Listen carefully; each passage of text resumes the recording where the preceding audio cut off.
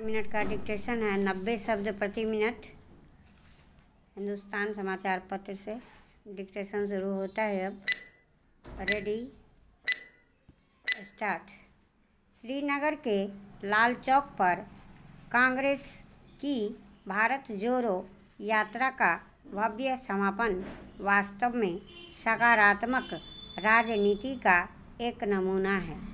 जोड़ने की मनोकामना वाली यह सकारात्मक राजनीति कश्मीर में आकर जब संपन्न होती है तो पूरे देश और विदेश तक इसका संदेश पहुँचता है। इस तरह की यात्राएँ अगर हमारे देश की तमाम राजनीतिक पार्टियाँ निरंतर करती रहें तो देश में कहीं भी अलगाववादियों को छिपने की जगह नहीं मिलेगी। एक समय था जब लाल चौक पर झंडा फहराना बहुत साहस का काम माना जाता था। फिर भी जब जब किसी पार्टी ने लाल चौक पर पहुंचकर झंडा फहराया, तब तब इतिहास बना और राष्ट्र को मजबूती मिली। यह तथ्य भारतीय जनता पार्टी भी ज़्यादा बेहतर जानती है।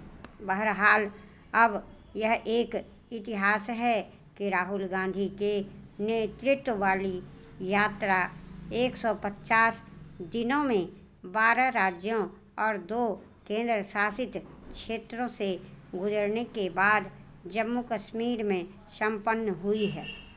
लगभग तीन सौ तीन हज़ार पाँच सौ किलोमीटर लंबे पैदल मार्च के विभिन्न पहलू हैं, जिन पर अलग अलग ढंग से चर्चा होगी।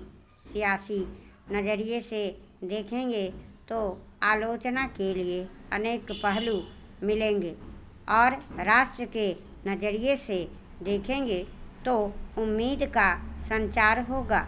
आलोचकों ने वैसे एक भी मौका जाने नहीं दिया, पर लोगों ने राहुल गांधी को कभी धूप में चलते तो कभी बारिश में भीगते और कभी बर्फबारी के बीच देखा है।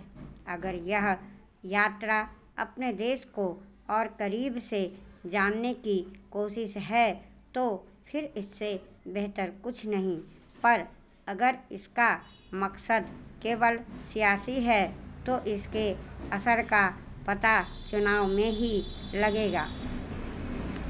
आम लोगों के लिए यही संदेश है कि हमें यात्राओं के दौरान अपने देश को समझना चाहिए। यात्रा केवल अपनी खुशी या मनोरंजन के लिए ही नहीं है, बल्कि भांति भांति के लोगों से मिलने का अवसर भी है। गौर कीजिए, आदि शंकराचार्य ने यात्राओं से ही इस देश की एक आंतरिक धार्मिक सीमा तय की थी। विवेकानंद और गांधी जी ने भी अपनी अपनी यात्राओं से ही इस देश को पहचाना था।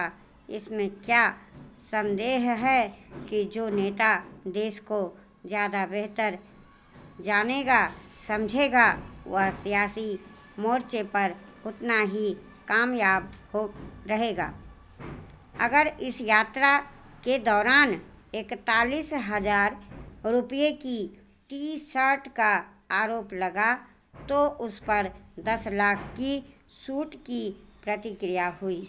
सियासत में यही होता है, जैसी ध्वनि आप उत्पन्न करते हैं, वैसी ही प्रतिध्वनि लौट कर आती है। भारत जोड़ो यात्रा की कुल ध्वनि सकारात्मक है, इसे आगे भी कथनी और करनी से बल प्रदान करने के लिए कांग्रेस नेताओं को सक्रिय रहना होगा।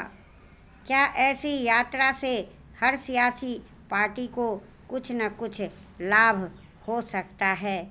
ऐसी यात्राओं के महत्व को कौन नकार सकता है? लाल कृष्ण आडवाणी की रथ यात्रा को भला कौन भूल सकता है?